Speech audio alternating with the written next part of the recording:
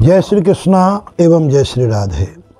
प्रिय बंधु इस ज्ञान की गंगा में एक आपको मैं आज बिंदु बताने जा रहा हूँ, एकादशी के बारे में प्राय करके अधिकांशतः लोगों को और भ्रांतियाँ होती हैं, दो एकादशी होती हैं। कई लोग हमसे पूछते हैं, महाराज जी, कौन सी एकादशी करें? तो एकादशी में एक हमारा मीमांसा, एक गणित है, वैष्णव समाज का। दसवीं भेदा एकादशी कभी नहीं करनी चाहिए। दसवें भेदा का अर्थ होता है कि यदि रात्रि बारह बजे तक या ग्यारह बजे भी कोई कोई विद्वान मानते हैं, रात्रि ग्यारह बजे तक दसवीं है तो अगले दिन एकादशी होते हुए भी एकादशी का व्रत नहीं किया जा सकता।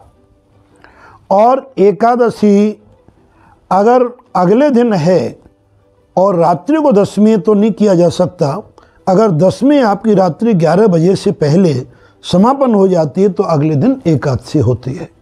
कुछ लोगों का मानना है कि सब उदयात उदयात केवल मात्र जो स्मार्तक समाज होती है। स्मार्तक क्या है, वैष्णव क्या है, ये मैं आपको यद्यपि विस्तार पूर्वक बताऊँगा, किंतु अभी संक्षिप्त में इतना बता देता हूँ। जो मूर्ति पूजा को नहीं मानते, भगवान को खाली एक निरंकार रूप में मानते हैं उन्हें स्मार्तक कहते हैं।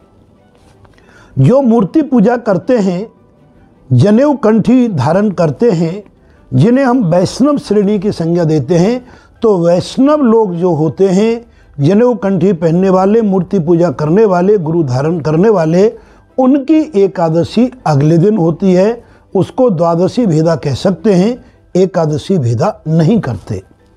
जैसे कि अभी 30 तारीख मंगलवार, यानी कि 30 नवंबर मंगलवार को एकादशी स्मार्तकों की है। क्योंकि जो दसवीं है, वो सोमवार को साढ़े ग्यारह बजे तक है। इस कारण से मंगलवार को वैष्णवों को व्रत नहीं करना है। वैष्णव लोगों को व्रत जो करना है, वो करना है बुधवार के दिन। बुधवार के दिन द्वादशी भेदा है वो एकादशी हमारे लिए लाभदायक होती है। और अगले दिन भी हमें इस बात का ध्यान रखना है कि एकादशी के दिन अगर कोई व्यक्ति व्रत भी नहीं कर पाता है, वैसे तो व्रत करना चाहिए। एकादशी के व्रत के बारे में आपको सबको समय समय पे बताते रहते हैं, फिर भी हम एक बार आपको विस्तार पूर्वक बताएँगे। एकादशी का व्रत करने से धर्म, अर्थ, काम और मोक्ष चारों पुरुषार्थों की प्राप्ति होती है। क्योंकि मुर नाम के राक्षस को एकादशी माँ की शक्ति ने और वध किया था और भगवान श्री विष्णु का सहायता किया था, उस दिन एकादशी तिथि थी। भगवान श्री हरि विष्णु उस मुर नामक राक्षस से ये युद्ध करते करते इतने थक गए थे कि उन्हें भोजन भी करने का सुअवसर प्राप्त नहीं हुआ, वो भूखे रहे। तो एकादशी ने यही कहा, एक दिव्य शक्ति भगवान जब थक गए और सो गए। और मुर ने जब उन पर अचानक अटैक करना चाहा तो भगवान विष्णु के शरीर से एक शक्ति उत्पन्न हुई। उस शक्ति का नाम एकादशी कहलाया और भगवान उस मुर नामक दैत्य को समाप्त कर दिया।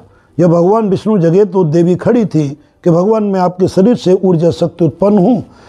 तुम्हारी देवी, आज से आपको एकादशी तिथि है, मैंने भोजन भी नहीं किया तो आपको एकादशी तिथि के नाम से जाना जाएगा। जो आज के दिन आपका व्रत करेगा, उसके जीवन में धर्म, अर्थ और काम मोक्ष चारों पुरुषार्थों की प्राप्ति सुनिश्चित होगी। इसमें कोई किसी प्रकार का संदेह नहीं है, लेकिन हमें निर्णय ये करना है, यदि आप वैष्णव हैं तो अगले दिन वाली एकादशी जो दो लिखी रहती है पंचांग में, उसमें यद्यपि लिखा भी रहता है कि स्मार्तक और वैष्णव तो हमें वैष्णवों की एकादशी करनी है। उद्यात आदि पर ध्यान नहीं देना है। इस बात को समझना आपके लिए परमावश्यक है। जय श्री कृष्णा और जय श्री राधे।